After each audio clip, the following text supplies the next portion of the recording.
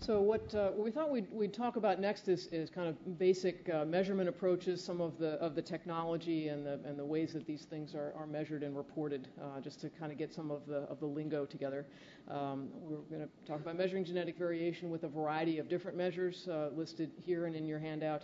Uh, then a little bit about linkage disequilibrium and why it's important in these measurements, and then uh, and then shift a little bit to talk about familial resemblance and family history. Um, and I'm a big Gary Larson fan, and this is, uh, hey, what are you looking at, buddy? Um, you want trouble, you found it. And it's understanding only German. Fritz was unaware the clouds were becoming threatening, as you can see. So, uh, so Tom has just thrown a, a fair amount of, of, terminology at you, and, and I'll throw a little bit more. And really, a lot of the difference between, or the, or the differences and challenges in communication between epidemiologists and geneticists are, are merely because of, of uh, a little bit of language difficulties. So when we first started trying to measure genetic variation, there weren't very good measures of it. Uh, there were certain things that were known to be genetic, and among them were blood group markers, because they, they clearly uh, clustered in families and were inherited in families. There are enzymes in that. Um, and one of the very first linkage studies, where linkage is looking for co-inheritance in families of a trait and a genetic marker, uh, was this one from the fellow that I, that I, actually trained with when I did my PhD, Alec Wilson, um, looking at relationships between the catechol-O-methyltransferase gene, COMT, which is a, a gene related to um um, adrenergic uh, uh, signaling in that, and 25, only 25 polymorphic uh, marker systems. And they describe here that they measured the COMT activity in, in five large families. These were very large families from Ohio, 518 individuals. And then they tested associations with 25 genetic markers, including the ABO, the RH blood group, and then a variety of others. And there were only 25 across the entire genome uh, and found a LOD score, which at the time was thought to be quite um, quite respectable, 1.27. Um, and this is LOD stands for log of the odd score. We won't go into. Uh, Tom's going to do linkage a little bit uh, later, but uh, but anyway, 1.27 with only 25 markers was actually pretty respectable. Um, and uh, and that, a small, a, a, close estimated recombination fraction, meaning that the, the marker and the presumed trait locus were close together uh, for this particular enzyme here. So so this actually worked, which was which was exciting. Um, moving from that relatively rapidly um, into the about the 1980s or so were restriction fragment length polymorphisms, and we were just talking about that in, in response to the question in terms of, bacterial endonucleases that actually chop a DNA uh, sequence at a certain point. So they'll sort of find a string of, um, uh, DNA, you know, CCGAT, and wherever they see a CCGAT, they chop the DNA, and that's probably the way bacteria insert things into into their own and, other bacteria's genomes um, that allows them to evolve. But for whatever reason, they're there, um, and they do define polymorphic uh, polymorphic marker loci that can be detected um, as differences in the length of DNA after you digest the DNA with these endonucleases. So depending on where it chops, you may get a longer or a shorter piece of DNA. And you can use that then to establish linkage relationships in pedigrees. And this is an example of this from uh, one of the first papers to describe it. Assume you had, uh, here's a, a, string of DNA, actually two different strings of DNA, and, and you have your two, this does not want to stay on, uh, you, your two um, um, places where endonuclease B can chop um, right here. Uh, and, and here's endonuclease A, and it may chop here and here in this particular person, but that CG, CCGTA may be here and over here in this particular person. And so then when you go to, to run these in a gel, you chop them up, you, you can label them, um, and you see that this, this particular person, or this, if these were both the chromosomes of one person, um, they would have two different fragments here, um, suggesting that they have uh, a polymorphism there, whereas they have the same site um, for endonuclease B, and, and you would only see one fragment. And this was the basis for uh, RFLP-based um, measurements of, of uh, uh, genetic variability, a very laborious, very challenging process uh, by which you had to find all of these endonucleases nucleases and then and actually uh, chop up the DNA with them. Um, and what was what was foreseen then, and, and certainly came to pass, was that since they're being used simply as genetic markers, any trait that segregates in a pedigree, segregates means that it's it's inherited in different ways, in the ways that Tom showed, either dominant inheritance or recessive or whatever and that such a procedure would not require any knowledge at all of the biochemical nature of the trait or of the nature of the alterations in the DNA responsible. All you're doing is putting little signposts in the DNA and then trying to find them, you know, based on the, the um, uh, size of the fragment that, uh, that you're able to detect. And this was used very successfully in a variety of traits. It was used to, to identify the neurofibromatosis gene. Uh, Barker and colleagues uh, in, in 1987 looked at 15 Utah kindreds and showed that a gene responsible for neurofibromatosis was located near the centromere, near the middle part of, the, of chromosome 17, the part that attaches to the, um, um, uh, the synaptic apparatus and allows the, the chromosomes to separate uh, during, uh, during cell division. And this is an example of this. It's kind of a kind of a nice one, but you'd need many, many, many, many of these in order to come up with a LOD score. Uh, this is a family where mom has um, um, two chromosomes that are, are have the same uh, polymorphism. Dad has uh, one of, of each, um, and and then the, each of the kids, all of the kids are affected, and so is dad. Uh, and basically, you can see here's one band uh, here at the 2.4, and a second band in everybody but the person with the um, 1-1 um, uh, variants uh, who was not affected. So, so this is just demonstrating co-segregation of the disease with the A2, the 1.9 kilobase uh, allele, and not with the A1 uh, allele in each of four affected offspring. And as I say, you need to do this in, many, many people in order to be confident with it, confident in it. So those were RFLPs. They were um, cumbersome, difficult to work with, uh, and there weren't very many of them across the genome. Tom mentioned variable numbers of tandem repeats, um, mini satellites and microsatellites. I haven't been able to find anyone who can explain why these are called satellites, but regardless, um, they're repetition in tandem of a short, maybe 6 to 100 base pair motif that spans about half a kb uh, to several kbs.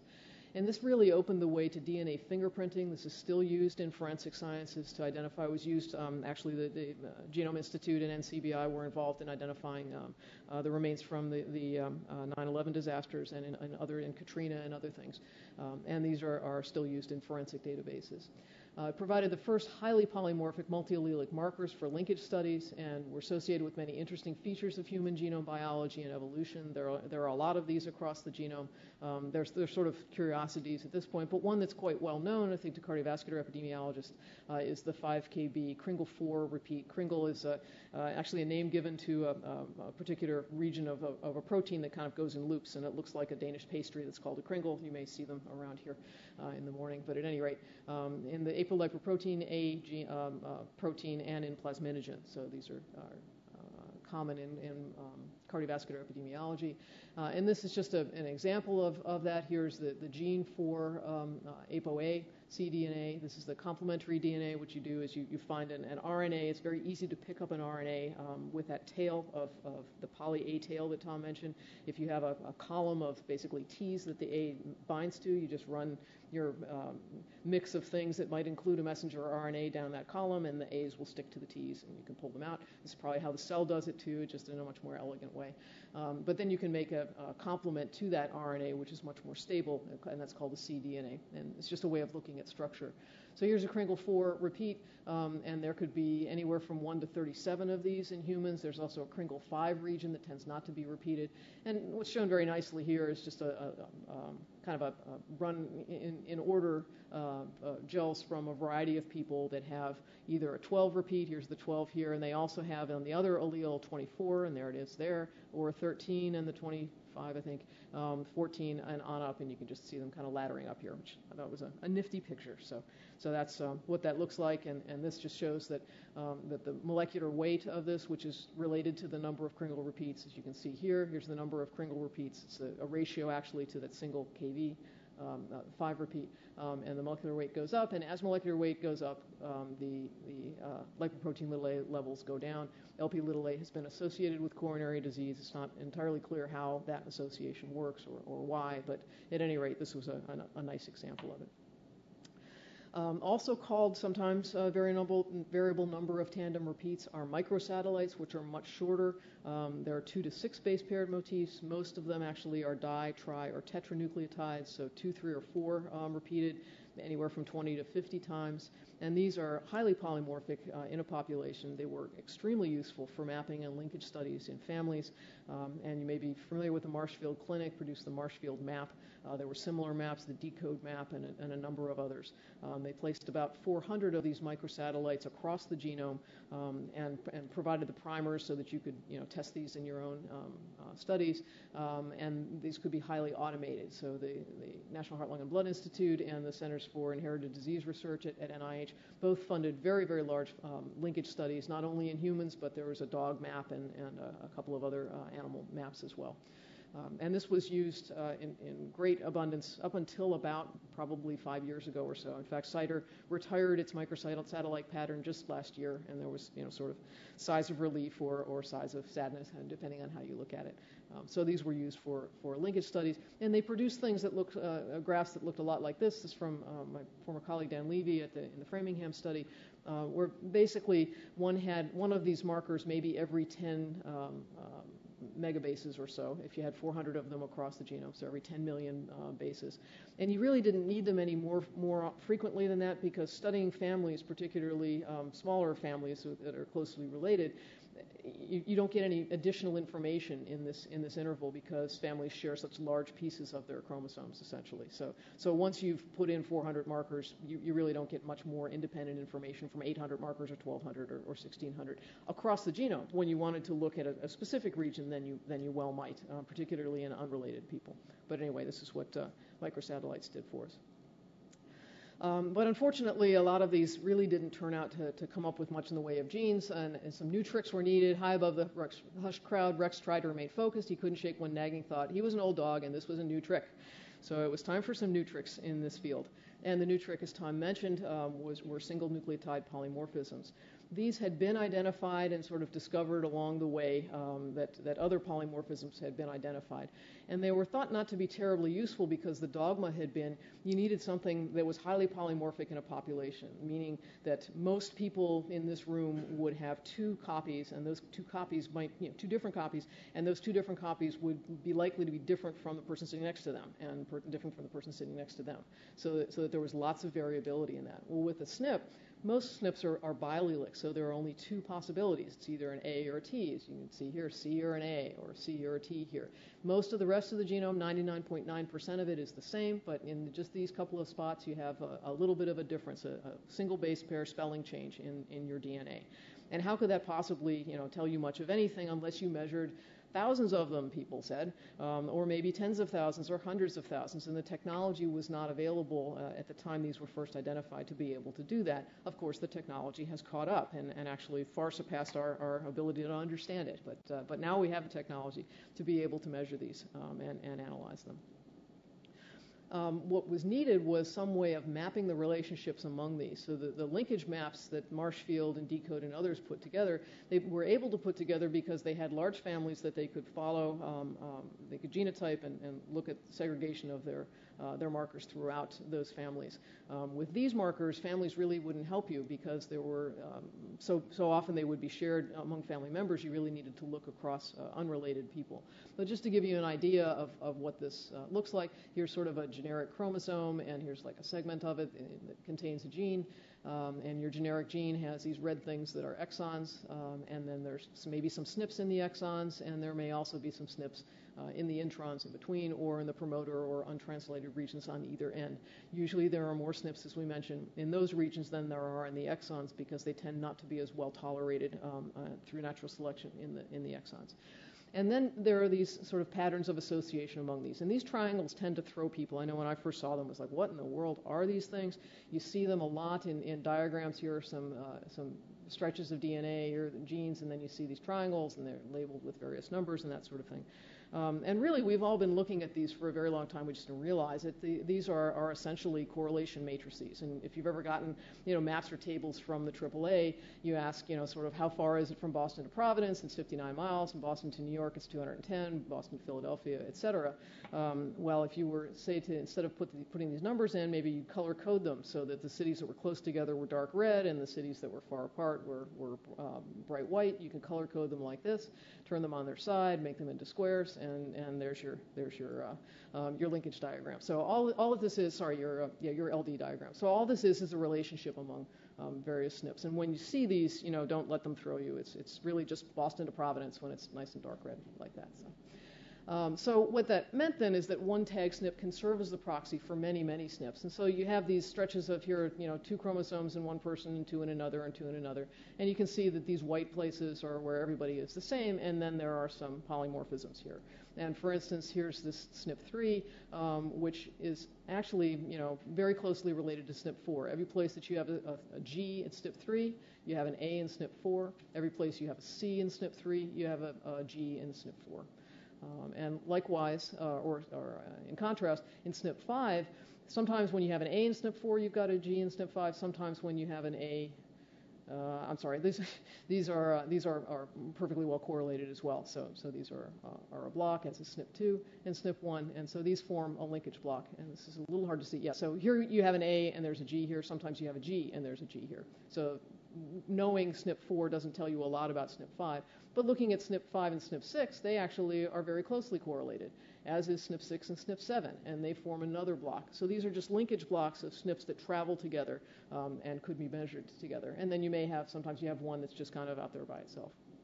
And so taking away the, the intervening sequence that, that doesn't contribute a whole lot of information, you could just pick one of these SNPs and you'd get all of the information that was uh, in between. So you just pick one. I picked the one with the prettiest color, but you could pick whichever one you want.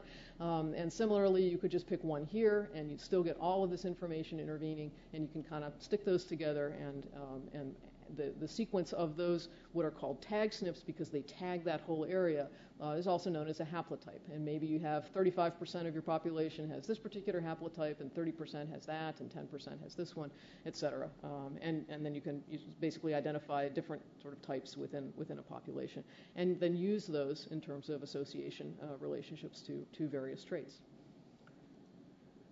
So there are a number of, uh, of ways of sort of estimating the, the, correlation between SNPs. The two most common are D prime and R squared. Uh, Lewontin's D is shown here. It's just the probability of, of the two, say, ancestral alleles traveling together versus uh, uh, minus the probability of the, the two variant alleles traveling together in order for the variant allele to get, uh, sorry, the variant allele and the ancestral allele uh, traveling together. So in order for the variant and the ancestral to get hooked up together, you have to have a, a recombination event there. And the more, the further apart in general um, that, that uh, SNPs are, the, the more likely there is to be a recombination event. So if this doesn't happen very often, D is very big. There's a D prime, and I confess I've forgotten what the max D is, but it's just a way of correcting uh, D prime for uh, by constant.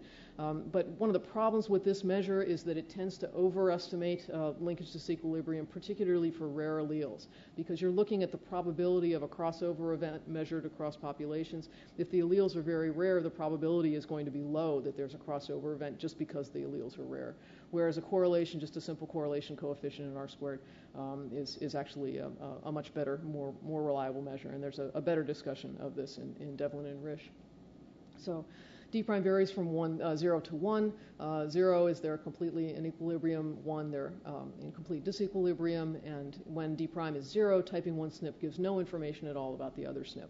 Um, but as I mentioned, it doesn't account for allele frequencies, and R squared uh, is the preferred measure. So when R squared is 1.0, two SNPs are really are in perfect LD. So every time you see a SNP, you know, SNP A in one of them, you see SNP B and the and SNP G in the other. Um, and the allele frequencies are, are, identical for both SNPs, and typing one SNP provides complete information on the other. So, so that's uh, what, what you, when you have an LD of 1.0. You might have an LD of you know 0.98, and perhaps that's because the allele frequencies aren't quite the same, but you know for the most part they travel together. So what can LD do for us? It's actually very, very useful. It can mess you up as well as, as really being helpful. Um, and in, the, in design, it's used to estimate the theoretical power to detect associations because if you knew that two SNPs were correlated at, at a, um, with, an, with an, um, an R squared of 1.0, you'd know that your power would be the same measuring SNP A as measuring SNP B. If, on the other hand, your, your um, R squared is only 0.5, your power is going to be much less to detect an association with SNP A if you're measuring SNP B because they're not well correlated, so you're adding some noise essentially. Um, and it does help you then to uh, uh, evaluate the, the degree of completeness of your sampling and the choice of the most informative genetic variants to, to genotype. Uh, and just note that sample size increases by about 1 over r squared um, to achieve the same power to detect an association with your SNP that is not quite as tightly correlated as, as the one that you really want to measure, which you hope would be um, the disease-causing SNP. So I, I realize that, that went by a little fast. Any questions on that LD concept? Okay. All right. Um, so what you'll often see then in genome-wide association studies is uh, basically a plot uh, across the, you know, uh, one of the nice things about DNA is that it's a linear molecule, so you can just kind of line up all the SNPs as they occur on the DNA. And what's shown here is for a, a group of, of um, British cases and controls with coronary artery disease and then German uh, families with, uh, with coronary disease. Uh, you see the, the, association statistics here, and what they're generally plotted on the on the um, y-axis is the minus log of the p-value, just because it makes it easy to sort of relate to them. So. Um, uh, 10, a p of 10 to the minus second or 0.01 would be a 2 down here. Uh, a p of 10 to the minus 10th um, would be a 10 up here. And these, as you can see, are very strong associations. So 10 to the minus 16th, 14th, 16th, et cetera. Um, and then you'll see this linkage block here, and remember this is just the years of block, you know, Boston to Providence. These things are very close together. They travel together, so that if you were to be looking at, at say, these two SNPs, they travel together. They're not going to give you much too much independent information. Um, up, up here, for example, these now are seem as though they may be in slightly different blocks, and certainly these are in different blocks from those. So if you were trying to pick things, SNPs that you would then type in a follow-up study, uh, you might want to type those that are in different uh, LD blocks. And one of the other things, you know, one of the neat things about um, uh, about genetics is that it is constantly changing, and things that were, you know, held to be God's, you know, solid truth um, uh, last year are, are no longer. One of the things that was widely known and widely taught was that recombination happens at random across the genome, and, and there's no rhyme or reason to it. It's a totally random event. That is clearly not the case. Um, what what happens here, where you can see there's been a recombination event here, but this block tends to be pretty much intact, as does that block. This is just shown in, in this family study and shown here in the HapMap where there were many more SNPs typed and many more people uh, examined. But what's, what's become very clear is that there are hotspots of recombination, and, and so recombination is not a random event. It actually happens in, in particular regions much more often than in other regions, and that really threw off people when they were sort of trying to map genes and figure out where they, where they uh, were located based on linkage information.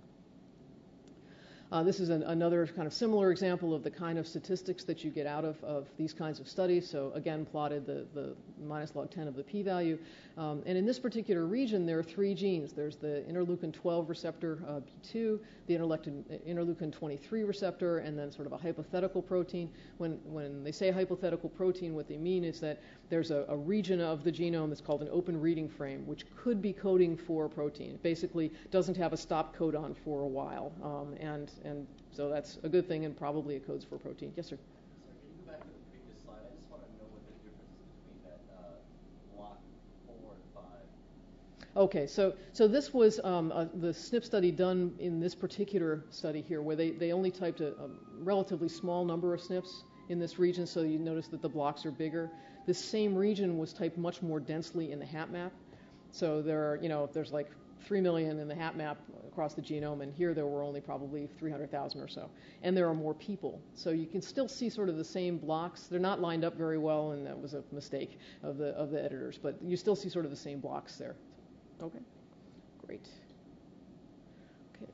Um, so yeah, so here you have these three genes, this hypothetical protein, and then these other two, and here's your association signal, and you're thinking, well, gee, it kind of looks like it's in that gene, um, but if you then look at the, the LD patterns, you can see that there are, oops, there are your genes, um, that there are actually two blocks of linkage disequilibrium. They're not real great, I mean, they're not real solid, but they're, they're certainly there, and it's pretty obvious that, you know, it's probably not this gene that's associated with the signal, nor this hypothetical protein, but it's probably something in here in these two LD blocks. So it can be very helpful for uh, sort of narrowing down an association region. And these are used, they're, they're, plotted in different ways. Sometimes you'll see people plot d prime against r squared back in the, in the earlier days, you know, like way back in 2006, um, when, when people sort of were used to the d prime measure, which shown, is shown here in blue, um, and weren't as used to the R squared measure and didn't like it because it didn't make as pretty pictures as the as the blue one. Um, you sometimes see them plotted together. This is TCF7L2. It's the strongest uh, genome-wide association signal found for uh, type 2 diabetes to date. Um, and, and this is the sort of the gene is shown, uh, this is the, the direction of transcription and then how the various SNPs are associated. And this is a, a similar sort of um, uh, plot of uh, linkage disequilibrium now in the three populations studied in the HapMap. And I'll, I'll talk about the HapMap, I think, a little bit more later. Um, but what they, they did was to look at the Yoruba uh, people from Ibadan, Nigeria, which is a, a, population of African ancestry that's uh, African ancestry populations are very old. If you follow the out of Africa hypothesis, which is no longer a hypothesis, it's really you know pretty well established. Um, the the most uh, human variation was in Africa and remained there, and a small piece of it then left and went into uh, Europe, Asia, and colonized the Americas. So the African populations, recent African uh, populations, tend to have less linkage disequilibrium because they're an older population. There's been more time for it to break up than younger populations. The um, uh, CEU is the, the CEPH population. It's a European ancestry group, and this is the, the Han Chinese and Japanese from Tokyo, uh, an Asian population, and they also have had less time for their LD to break up. And so you can see these triangles are a little bit denser uh, in these two populations than they are in the in the Yoruba, and you see that over and over again in, in populations of recent African ancestry, and we'll show you in a bit how, how useful that can be.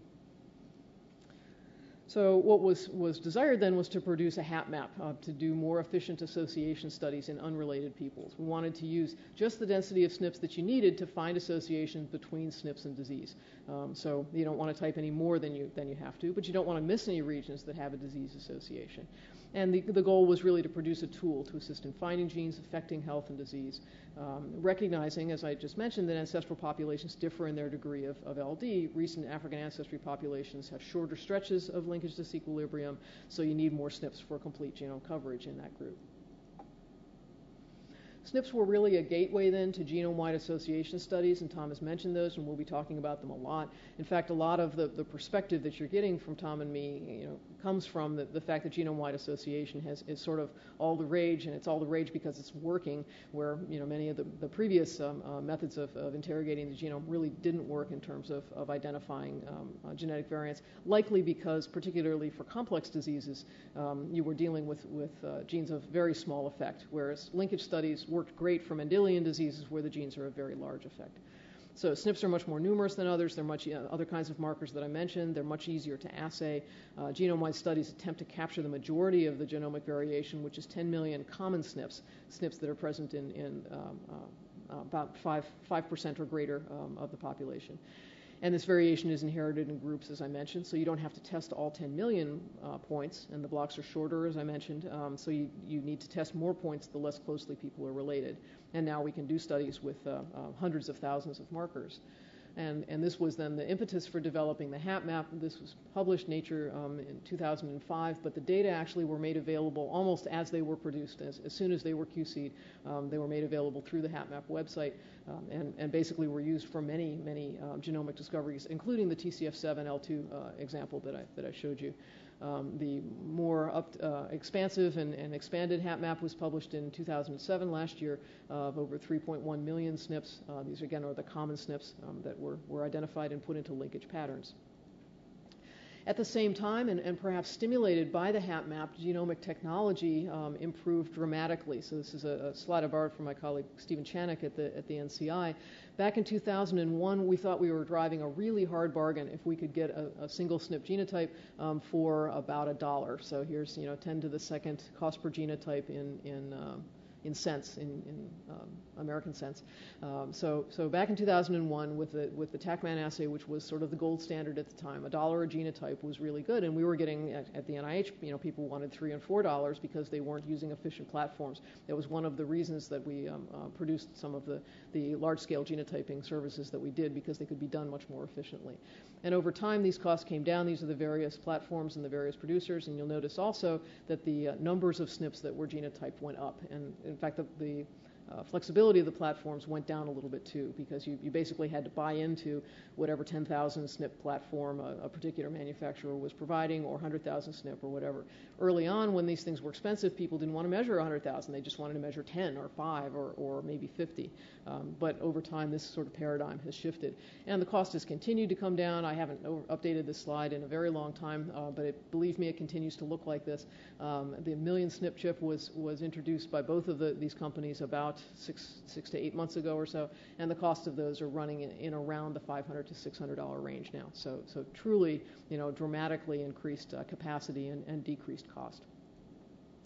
So what that means is that in 2001, if you wanted to type all 10 million SNPs, which is what you'd have to do since you didn't have the linkage to disequilibrium patterns, at a dollar a SNP, it would be roughly the budget of the entire National Institutes of Health, which wasn't likely to happen um, in a 2,000 person study. Um, in 2008, we can type about a million SNPs at a cost of about um, 0.05 cents. Uh, for about a million dollars. So, so about $500 per person for a, a million SNP chip. Um, and, and really, these are you know still still a good piece of change, but it's it's manageable, whereas before it really was not. This is just a, a, sort of an overview of the coverage of the various more recent platforms. Um, the Affymetrix GeneChip 500K was used for the Wellcome Trust Case Control Consortium that we'll talk about, in, um, I think, at, at, some length. Um, and in several of the other uh, studies that we're reporting out in early 2007, uh, it gave a relatively poor coverage and an R squared of 0.08. So that's a, a, question asking how, what proportion of the SNPs in the genome are you covering in an R squared of 0.8, sorry, 0.8 um, or better? And in the Yoruba, it was only 46. In the European population and the, and the Asian population, it was a little bit better. Um, the SNP array 6.0, and I left out 5.0, sorry. Um, these numbers are much, much better. And the Illumina platform, similarly, these numbers went up and up. Uh, the Perlegen 600K, uh, about these kinds of numbers. So, so we're getting very, very good coverage now, and it's only continuing to improve. Something just to be aware of is that the polymorphism literature can be a little bit difficult to follow because sometimes the polymorphism is named for the amino acid change. Um, the angiotensinogen gene M235T is the methionine to threonine, I believe. Um, the nucleotide sequence, so here are the uh, I forgot what this is, um, angiotensin receptor, I believe, um, and this is a nucleotide change, so it's an A to C change in the C DNA, the complementary DNA we talked about, um, at position 1166. It could be in the promoter region. This is a minus six. Um, usually, the, the, when you're numbering promoters, it starts upstream of the uh, uh, of the initiation site, so it has a negative sign. Uh, could be for a restriction enzyme site, so these are various restriction enzymes that cut the DNA in different places. It could be for the gene product, such as ApoE2. This is a, a particular protein that's produced by the ApoE gene.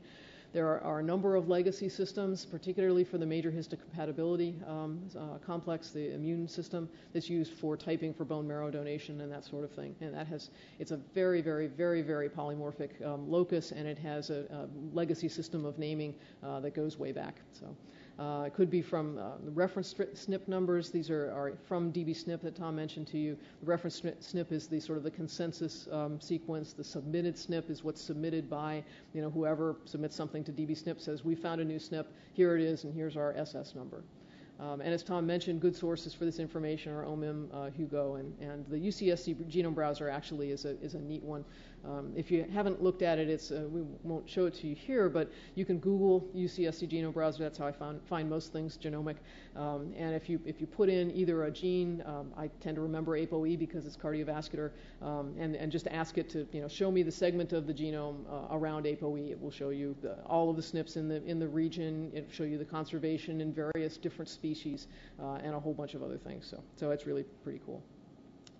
I, I, don't have time to go into other genomic technologies. One to be aware of that's, that's sort of coming on the horizon and will probably drive uh, genome-wide association out of business is sequencing. Uh, this is to measure the variation at every point um, in every gene or candidate region in dozens to hundreds of people to find all of the functional variants. That's the way that it's used now. We anticipate that um, um, within probably not too many too many years, uh, the thousand dollar genome, as it's been called, um, will be a reality, which means we can sequence an individual's genome for about thousand dollars. Remember that the first genome project probably cost about two and a half billion dollars. Um, so that's a, a, several orders of magnitude improvement in, in cost, um, and those costs are coming down, you know, day by day.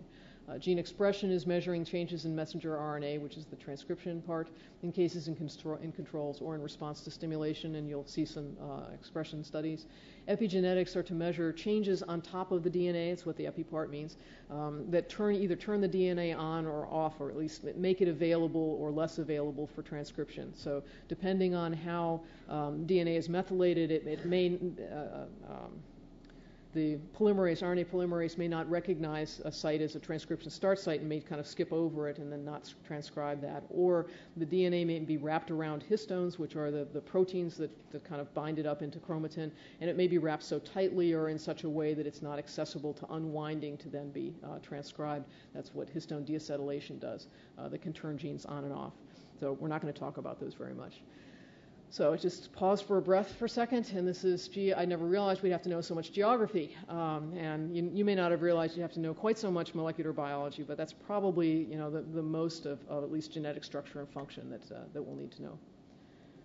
So just to summarize on, on genotyping points before I get to familial uh, information, there's been unbelievably rapid progress from small number of blood group markers to more than 10 million SNPs, CNVs, structural variants, sequence variants. And the technology is continuing to change. It's one of the challenging things about this field. I haven't talked at all about copy number variants. They're sort of the latest, greatest new thing. Um, and there are, they basically are being typed through um, um, SNPs, so I, I, won't go into them much, but we can talk about them if you like. Um, and as I, I, mentioned, there's, there's more to come in lecture four uh, on genome-wide association studies. Quality control is a major issue, and, and we'll be talking about that as well.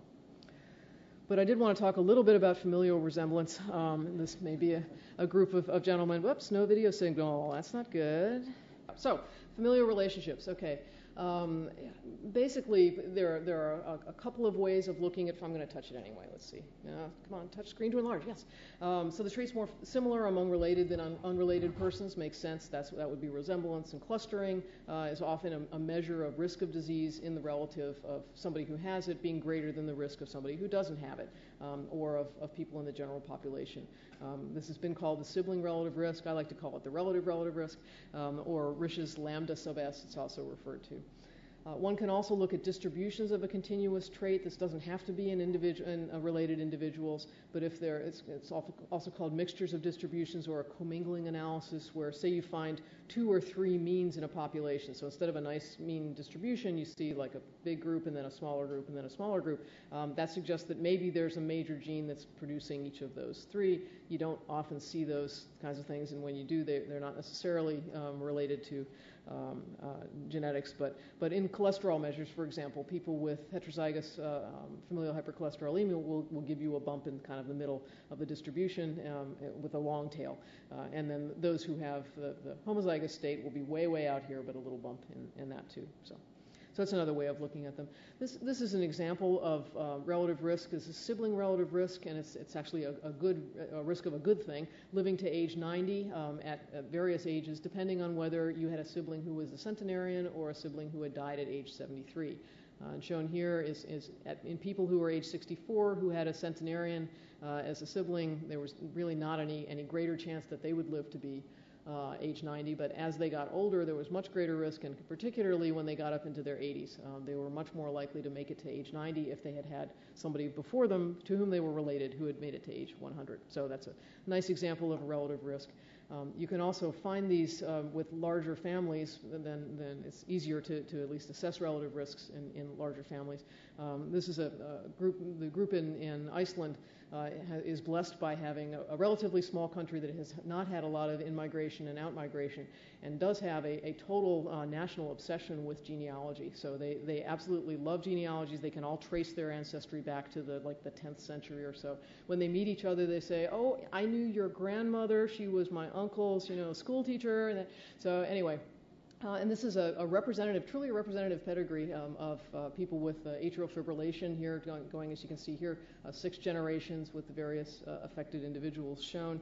Uh, and this allowed us to then look at the, the risk ratio. These were basically prevalence ratios of atrial fibrillation in first degree relatives, in second degree relatives, third, fourth, and fifth.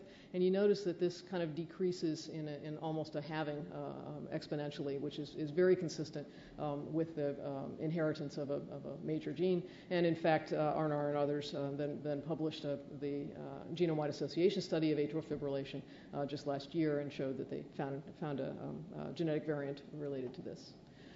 So sibling relative risks are one way of looking at these. For, for discrete traits, for continuous traits, you can look at correlations among relatives. Um, this was when Garrod was looking at, uh, Garrod Archibald, I think, um, one of the earliest geneticists uh, looked at, at, relationships among relatives. He studied height and showed that, um, that basically an offspring's height is the, is the midpoint of the two parents' heights.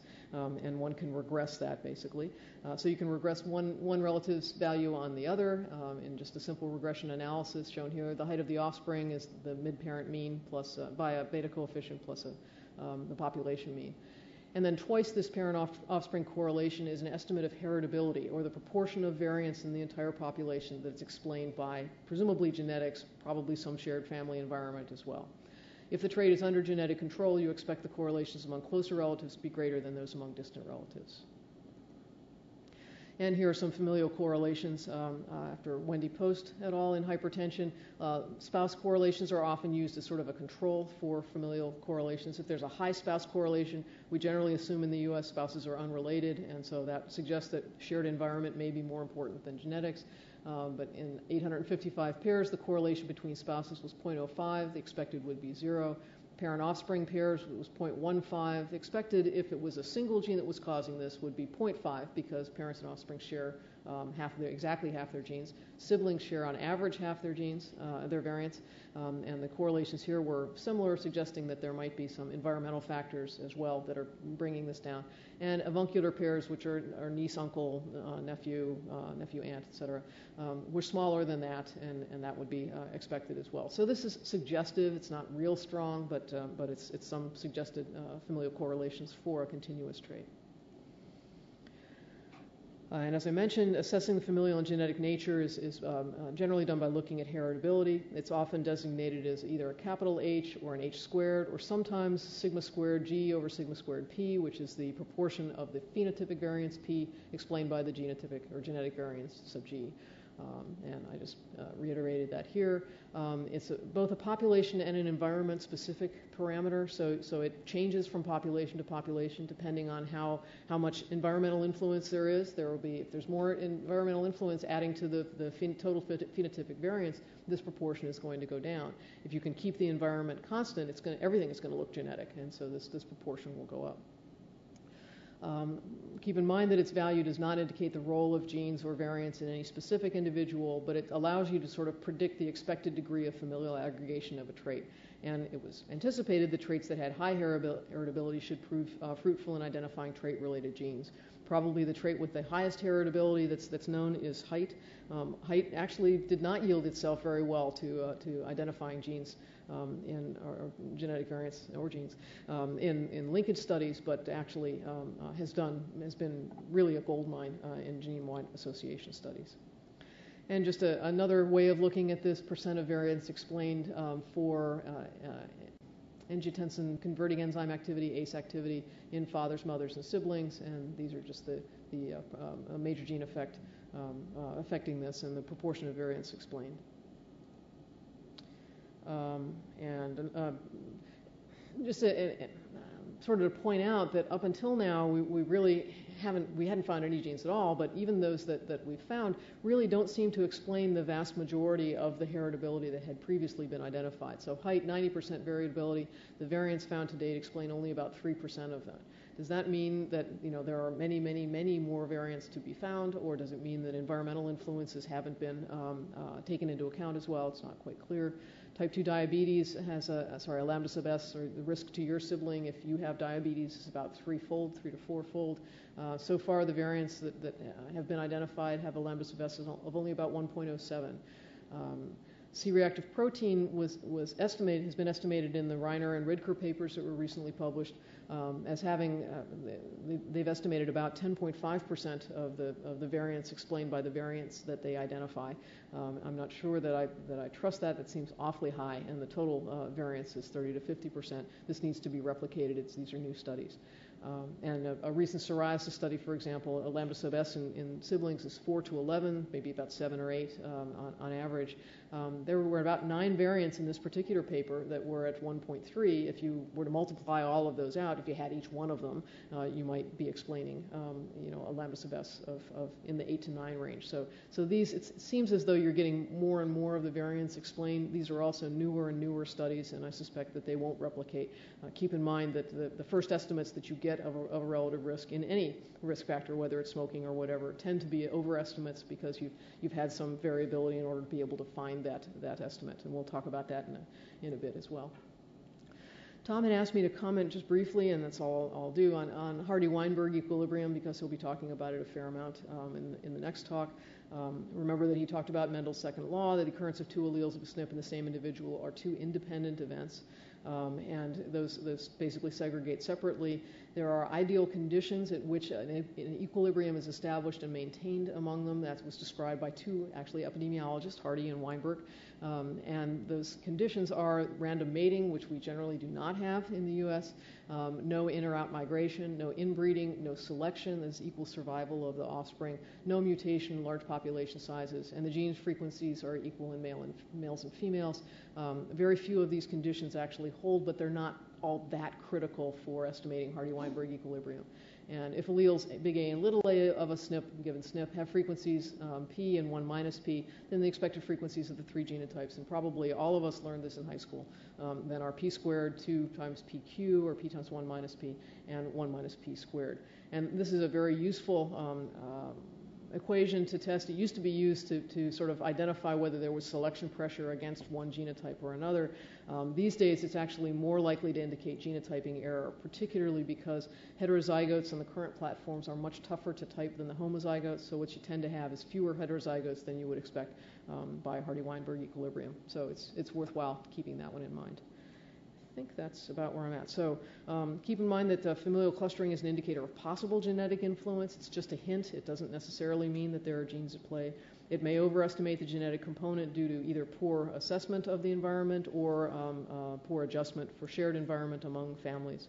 Uh, and methods for assessing it include twin studies, parent offspring correlations, uh, sibling or relative relative risk, and percent of variance explained. And current genes um, that we've identified so far for complex diseases really explain only a tiny fraction of heritability. And that unexplained heritability has been called the dark matter of, uh, of complex disease genetics. So I think I'll stop at that point, and I believe there's a question there in the back. So thank you. Questions? I'm just curious about the so, so I think they'd like you to use the microphone. I'm sorry, we, we wanted to tape this. We're actually not live webcasting it, but we wanted to have it available for posterity so that when Martha or others ask, you know, can you give a course, we could say, look at our website. oh, I, am just curious about the height. I mean, you said it's gold mine, the, the genome-wide association. Is it gold mine? Is any? Oh, it's a gold mine because there are like 20 different variants for it now. Um, but, oh, they, but each one explains a very, very, very small proportion of the variants. So variant T and then variants CE. Um, yeah, so it's, it's done very well. Diabetes has been another biggie. Um, Crohn's disease has come up with, with 15 or 20 or so. But, but again, they don't explain you know, the heritability that has been estimated. And my, my personal belief is that we've overestimated the heritability. We're not accounting for the shared environment nearly well enough. But that's just my belief.